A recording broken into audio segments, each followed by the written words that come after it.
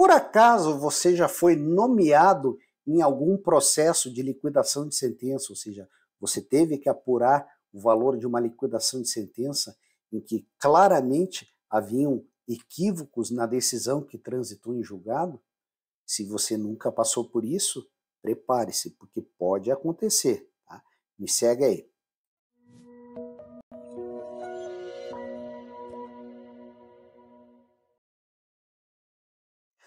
Muito bem, só para exemplificar para vocês, esse foi um caso, eu auxiliei uma, uma aluna minha de São Paulo, foi nomeada para apresentar proposta num caso de liquidação de sentença, e um, um financiamento, um contrato de financiamento de veículo, tá? É, no qual foi estipulada uma taxa de juros remuneratórios de 1,77% ao mês, mais a taxa de comissão de permanência 12% ao mês. Tá?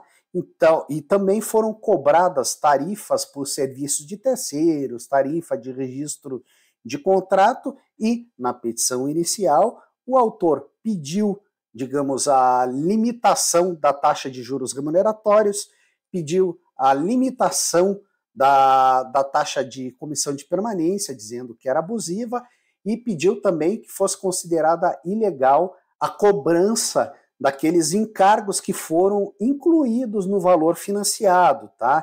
Que seria a tarifa de serviço de terceiros e assim por diante, tá? É, o que, que aconteceu nesse caso, tá? É, eu vou mostrar aqui para vocês, deixa eu fazer a transição das telas, tá?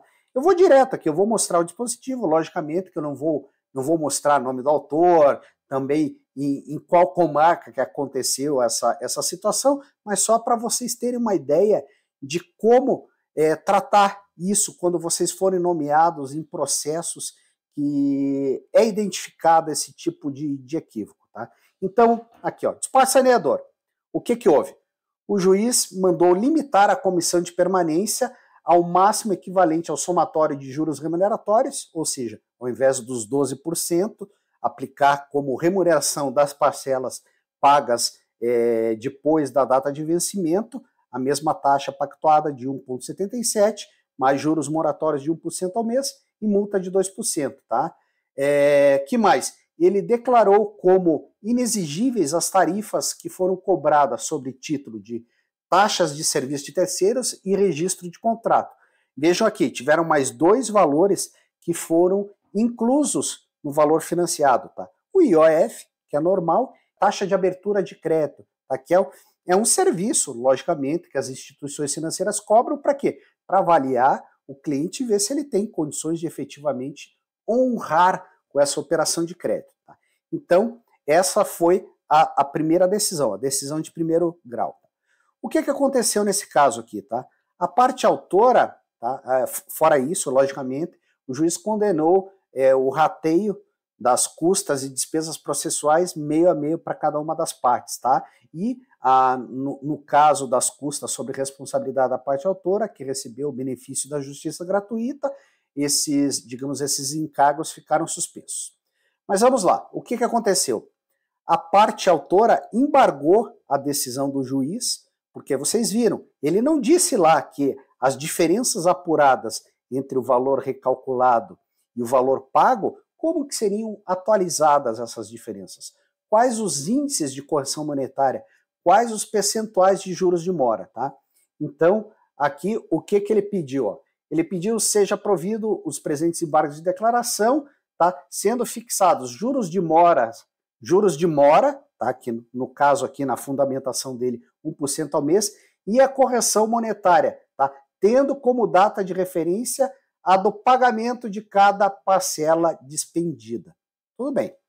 Se vocês já atuam com, com perícia, vocês sabem que tudo bem, a comissão de permanência ela vai da data de pagamento até a última data, né, a data do laudo pericial ou a data do depósito judicial que garantiu o valor da condenação. Né? Mas os juros de mora eles são devidos a partir da data de citação. Por quê? Por exemplo, nesse caso aqui, esse contrato é de 2009, certo? Começaram a ser pagas parcelas em 2009, se não me engano, agosto de 2009, tá? Só que a citação ela aconteceu só em 2016. o, até o contrato ele foi quitado antes de 2016. Então, é, fazendo dessa maneira, a, a, instituição financeira ela pagaria o encargo de mora, é, digamos, além da data que ela tomou conhecimento que ela poderia ser condenada nesse caso. Mas veja, você como perito, se transitou em julgado, como aconteceu nessa situação, vou mostrar aqui para vocês, ó. No caso aqui, o, o juiz ele, ele corrigiu, ele, ele fez uma retificação né, do, do, da sentença, né?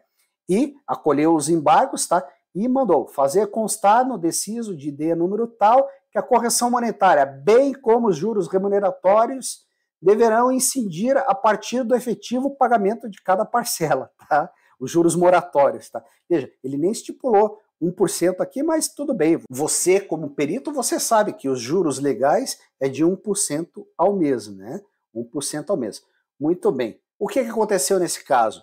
A instituição financeira não embargou essa decisão, pela qual ela poderia dizer: tudo bem, correção monetária a partir da data de pagamento e juros de mora a partir da data de citação. Mas não fez isso. E o que, que aconteceu? A, a decisão transitou em julgado.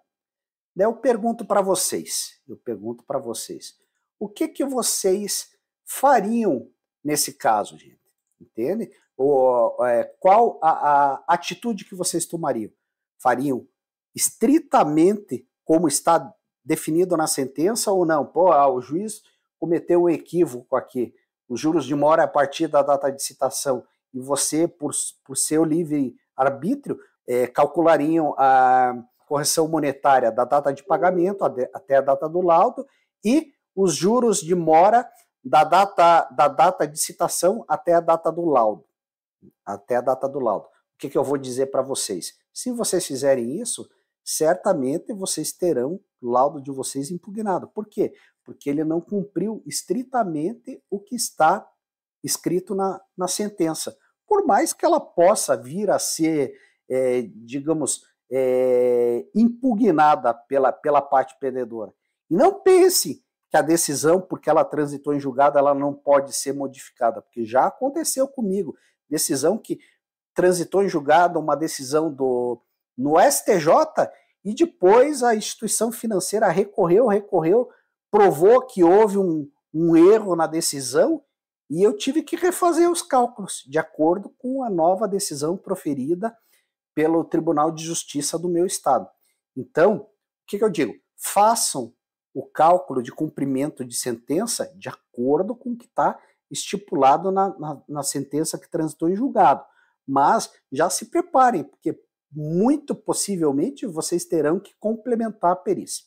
Eu vou mostrar para vocês aqui qual que é o impacto, impacto dessa decisão mal dada aqui. Vamos lá, eu vou mudar a tela aqui Vou mudar aqui para uma planilha, uma, uma planilha que eu, que eu fiz, digamos, o que, que eu fiz? Eu fiz o recálculo dessa operação com, com os parâmetros que foram estabelecidos na sentença, ou seja, o valor solicitado, tirei aqui os outros valores que haviam sido cobrados, mantive só a tarifa aqui de cadastro e o IOF, né, o mesmo prazo, e o que, que eu fiz? Eu mudei aqui ó, a comissão de permanência, que era de 12% ao mês, eu mudei para 1,77 ao mês, né? E mandei recalcular, ou seja, a parcela que inicialmente era de R$ 1.054,50, se eu não me engano, ela caiu para 924 reais. A parcela normal, tá? Não, não estamos falando da, da parte de comissão de permanência. A parcela normal também foi modificada, por quê? Porque é, foi excluído do cálculo do financiamento o valor que o banco cobrou é, a respeito de serviços de terceiros e uma outra tarifa de registro de contrato. Tá? Beleza, refiz o cálculo aqui, a, a parcela ela passou de 1.054 para 924, e daí eu tenho também no, nos autos aqui, eu tinha um demonstrativo de todos os pagamentos que foram efetuados, certo? Com as datas de pagamento e também com os valores que foram pagos. Vejam, aqui, 48 parcelas. É, a maioria das parcelas foram, foram pagas no dia correto. Teve um pagamento em atraso, esse daqui foi pago foi, foi pago em atraso também, deixa eu ver o que mais. E aqui o contrato foi quitado bem antes, tá? Ele foi quitado aqui em 17 de 12 de 2010. O que que, o que, que aconteceu? Para cumprir essa sentença, para cumprir essa sentença, eu tenho que calcular a diferença entre os 1.054 com esse, esse outro valor que eu calculei aqui, o, o valor da parcela, mais os eventuais encargos de inadimplemento limitados àquilo que foi determinado pelo juiz. E, e olha aqui, ó, é, tiveram casos que foi, o, valor foi pago antes da data de vencimento. Então, teoricamente, é, teria que ter sido dado um desconto pela antecipação. Isso também está no contrato. Então, aqui, ó, vejam, teve, teve aqui três pagamentos que foram feitos antes, eu considerei isso daqui. E aqui eu achei o valor que foi pago de parcelas a maior, tá? Ou seja, a diferença entre o valor da parcela revisada e o valor da, da parcela recalculada de acordo com as decisões que transitarem em julgado. Tá? Daí eu tenho que é, o que, que a, a decisão determinou. Atualização monetária. Nesse caso aqui, eu fiz a atualização monetária pelo INPC, porque é só um exemplo. No caso aqui seria o índice do tribunal. Atualizei a, o valor né, pelo, pelo INPC, tá? E o valor aqui, ó, de quanto que era aqui, ó, de 6.613 as diferenças foi para 14.041. Mas aqui que entra o grande problema, os juros de mora. Por quê? Porque se os juros de mora forem contados a partir da data do pagamento, o valor total do, do indébito, ou seja, o valor total da condenação, será muito maior, porque haverá uma diferença de praticamente seis anos é, em relação às parcelas que foram, que foram pagas lá em 2009, 2010 e a data, a data da citação. Então, o que, que eu fiz aqui, ó? O que, que eu fiz nesse caso aqui, ó? Eu coloquei, eu coloquei aqui, deixa só eu achar, ah, eu coloquei aqui, ó, período de mora. Eu tenho duas, duas, é, duas possibilidades para calcular a mora, tá? Eu vou, vou fazer primeiro aqui, ó, desde o pagamento, ou seja, calcular a mora desde o pagamento. Então, ó, ele calculou a mora considerando todo o período desde, desde o pagamento até 31 do 5, que foi a data que eu é, adotei como limite corte, o último índice, o último INPC que foi divulgado. Beleza, ó, vejam aqui, ó, juros de mora, 478,59. Vamos ver aqui, ó, se eu pegasse 478,59 e dividir pelo, pelo valor é, pago a maior, ó, aqui deu 165%, aqui deu é, 164%, por quê? Porque aqui eu estou atualizando a partir da, da data de pagamento. Mas e se eu tivesse que fazer isso é, a partir, é, ou seja, o juro de mora a partir da data de citação? Vejo que aqui, ó, a mora, a mora aqui deu 21 mil reais de mora, se considerar desde a data do pagamento, certo? Se eu modificar aqui, vou pegar aqui, ó, vou modificar aqui, vou colocar aqui, ó, ao, invés de, de período de mora desde o pagamento, eu colocar desde a citação, tá? Os meus juros de mora serão sempre de 85%, que é 85 meses, que é da, da data da citação até a data do laudo, tá? Até a data do laudo, que foi no mês no mês 5, tá? Então, vejamos aqui, ó, era 21 mil reais que, que a gente tinha visto lá, né? Quanto que vai dar os juros de mora se a gente calcular desde a data da citação, ó? 11 mil reais. Ou seja, a instituição financeira, nesse caso, se seguir, se for feito cumprimento de sentença é, considerando os juros de mora desde a data de pagamento, a instituição financeira pagará 10 mil reais a mais. É justo isso? Não sei, entende? Eu, como perito, eu tenho que seguir o que está determinado na decisão que transitou em julgado, ou seja, eu vou, vou ter que chegar no valor dos 21 mil reais lá. E o banco, o banco, digamos, vai ser penalizado nisso porque ele não indicou um bom assistente técnico para verificar esse equívoco na, na retificação da última decisão, da última sentença, e isso vai prejudicar ele. Vai prejudicar ele de uma forma bastante significativa. E aí, vocês já passaram por esse tipo de problema? Se vocês já tiveram esse tipo de problema, é, deixa aí nos comentários se vocês é, tiverem alguma dúvida de como proceder nesse tipo de situação.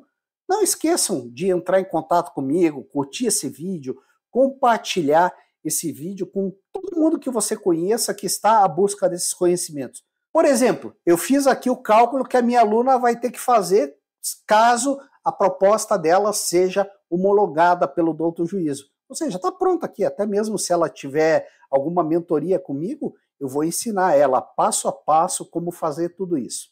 Ficou claro para vocês? Espero que sim.